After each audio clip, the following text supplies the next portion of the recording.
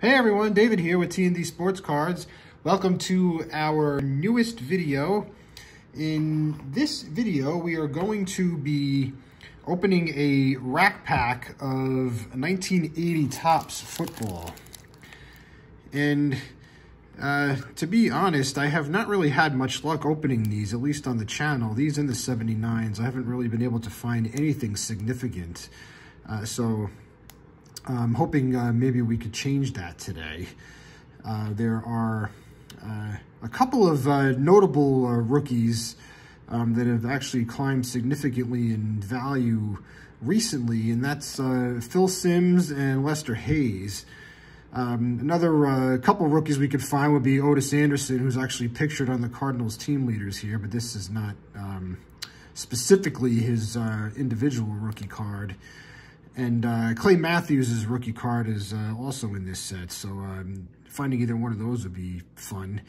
And um, there are uh, loads and loads of Hall of Famers. There's a really nice uh, Walter Payton card in here, uh, pictured of him, uh, I believe, in the the now um, gone Pontiac Silverdome. So, um, yeah, there's, like I said, there's lots of potential uh, Hall of Famers and stars we could find in here. So with that, let's uh, get into ripping this open and uh, see what we can find. I'm not going to bother with trying to tear it open. I think this would probably be the most efficient way to do this.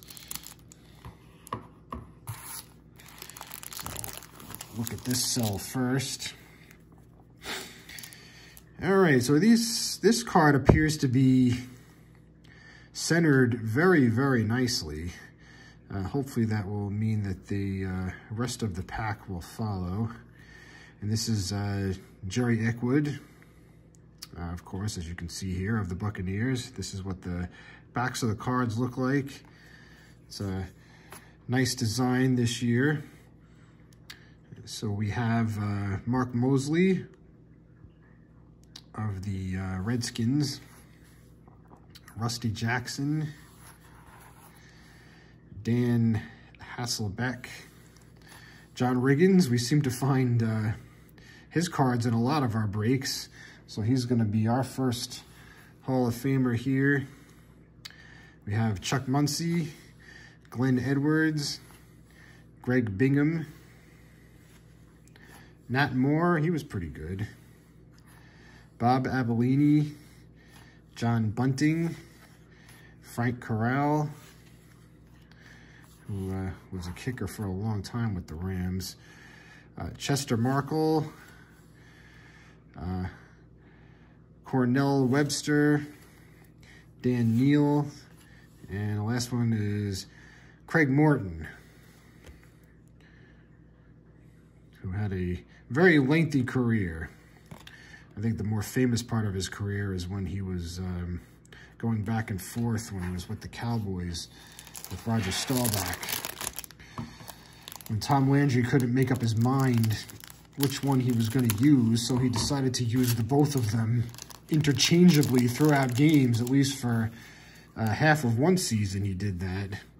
I think they actually ended up winning the Super Bowl uh, that year, but they settled on Staubach eventually. Uh, I think that was probably a good decision. I mean, Craig Morton was good, but Staubach obviously is a Hall of Famer. All right, speaking of Halls, we have Charlie here, Jim Turner, Jesse Baker, Bob Kuziel, Mel Gray, he was pretty good. Ricky Danmeier, Mike Thomas, Chris Bahr, who kicked forever, along with his brother Matt. I felt like they were, two of them were just around literally forever. Leonard Thompson, I think we've pulled this card before. Tom Rafferty, Mike Washington, Virgil Livers, a Rams team leader card. Hall of Famer Jack Youngblood is on there. His brother's there as well. Roland Hooks, Harvey Martin. That's a nice pull. Mark Miller and Norris Thomas. I'm not sure if Harvey Martin's in the Hall of Fame. I'm going to go with no, but I could be wrong.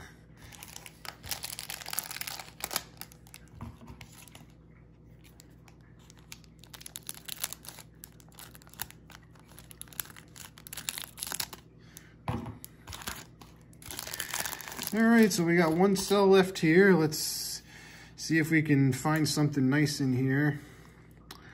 We have the Cardinals team leader, Tony Galbreath, who eventually did play for the Giants for a little while. Preston Dennard, he was good. Ken Houston, another Rick Danmeier. Mike Thomas, Barty Smith, Andre Tillman, Franco Harris. Here's a nice card. That is a beautiful, beautiful card.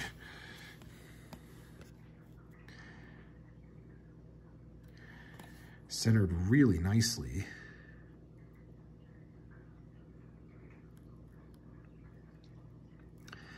I will tell a very, very quick story about Franco Harris. When I was growing up,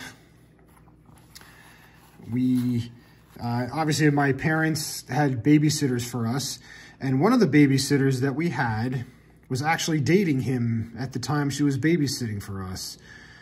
And uh, a couple of times we actually had opportunities to maybe even meet him, but it never happened. So um, that was unfortunate. You know, when I was little, I, I mean, I, I would have probably passed out if I met Franco Harris. Uh, he was such a such a larger than life uh, figure in the NFL uh, at that point in time. So that would have been really cool. But um, yeah, that was um, that was interesting, uh, especially looking back now to think, wow, we had a babysitter who was actually dating somebody who was that uh, big of a star. Um, all right, so that was my little story about Franco Harris. Okay, we have Bob Grupp of the Chiefs. We have the Oilers team leader card, which um, surprisingly does not have Earl Campbell on it but it does not have uh, rushing statistics, so that would explain why. Uh, we have uh, Chris Bahr again. We have another Leonard Thompson. We have another Tom Rafferty. We have Cliff Branch, who is, I believe, in the Hall of Fame. He's not, he probably should be. Uh, Jack Tatum and another Chuck Muncie. So we had uh, several duplicates in here. And our, I guess our uh, bigger finds that we had here were Cliff Branch, uh, Franco Harris, which is, uh, like I said, is just a really, really nice card. This card is centered very nicely. Good surface, nice corners. And we have a John Riggins. So there we have um, our uh, next uh, foray into 1980 Topps football. Uh, we did not pull any of the uh, big mentioned rookie cards, uh, but we did find some nice ones, including the Hall of Famers we just went over again there. So I want to thank you guys for um, tuning in and checking us out. Uh, please like and subscribe, and we will see you later in the week with another new video. If uh, we have any retail finds or um, or a new release shows up, uh, we obviously will bring that to you. But otherwise, uh, I guess we'll be looking ahead to, to Thursday. All right, so uh, enjoy the rest of your day, enjoy your week, and uh, we will see you soon. Take care.